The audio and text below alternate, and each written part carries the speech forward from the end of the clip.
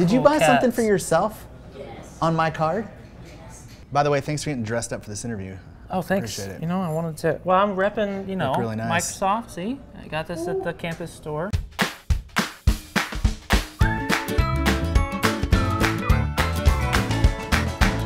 Hi, I'm Burke Holland, And I'm Jonathan Creamer. and we're in historic downtown Franklin, Tennessee to bring you five things that TypeScript can do for you. Gray's on Main is an amazing restaurant, and I love the bar up here. They have this drink called the Anthem Spirit. What's what's an Anthem Spirit? Man, hands down, one of my favorite drinks here. Really? Yeah, they, they stir it for like five minutes. This is amazing What's in it? drink with whiskey. And, Oh, shh, shh. You can't talk about alcohol. oh, sorry.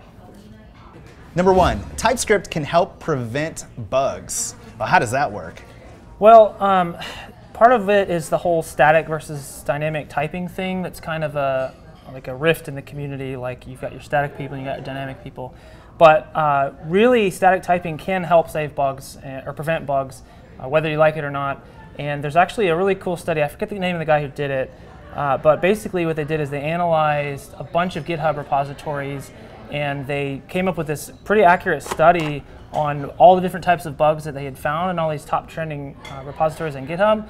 And they found that on average, just by adding static typing with like either TypeScript or Flow to your repo, you could reduce your bugs by like as high as 15%. 15%. Yeah, Wow. and, and there, there's a lot of good reasons why. I mean, you, especially with something like JavaScript that's dynamically typed, you can easily pass in a number where you expect a string and call some sort of method that, that doesn't work on the parameter you passed in. So just adding TypeScript or Flow really helps solve a lot of those kinds of problems where just boneheaded things or misspellings in a class function. Uh, and then you get into working with like VS Code or tooling that supports TypeScript and static typing, then that really helps even further because you're not just guessing at what a function is. You actually know because the, the TypeScript type checker tells you what's on your. and it enables the tooling to do that. yes, it does. Yeah. Well, that sounds great. Plus, you referenced a vague scientific study, so it must be true. It- uh, absolutely, yes, of, of course. Uh, it's, I can't remember the name of it. I'll, I'll, I'll have to uh, find it. But yeah, it, it is a thing. I promise. It's a okay, thing. we'll take your word for it. yes. Number two, TypeScript can help you ship built-in documentation. What?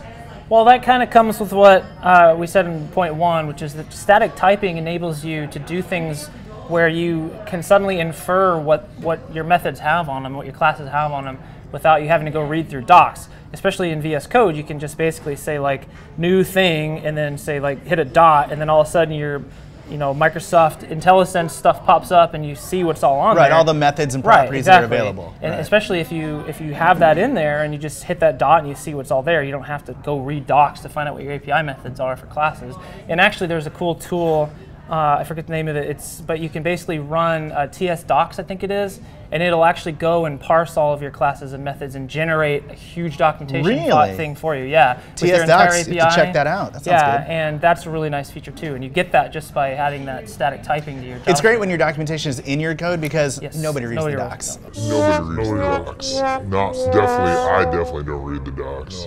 But it's something that JavaScript developers aren't really used to having. Like we actually, I remember going through the jQuery documentation like 600 times a day, trying to remember what methods and properties Yeah, were available. exactly. So, and, and what's cool is there's a library called Definitely Typed that has tens of thousands of different uh, typing files in it. So there is one for jQuery. So if we had that now, you would imagine where, like you said, you'd go read jQuery docs over and over. Now you say dollar sign parenthesis, and all of a sudden it's like this takes this selector, and you can say dot and do whatever things Boom. underneath it. Yeah. It doesn't say like if you put a dollar sign, it doesn't say you put dollar sign and then it says use React. no, it does not say Okay, that. I'm never gonna That would give be a up. fun Easter Yeah, egg, I'm never gonna. I'm never gonna give you up, jQuery. Never. You can't make me. No, me. never going to give you up. Never Yeah, like Rick, you up. Rick Astley.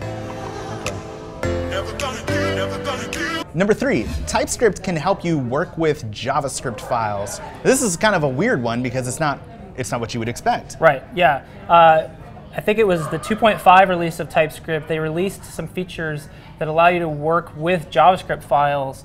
You can adjust your TS config a little bit, and then all of a sudden, you don't even have to start writing TypeScript, you know, just straight out of the gate.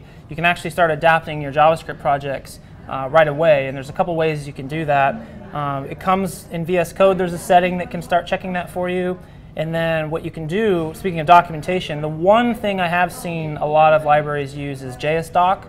Uh, it's just that little, you know, wax star star, and then you can say like at param and, and at whatever on there.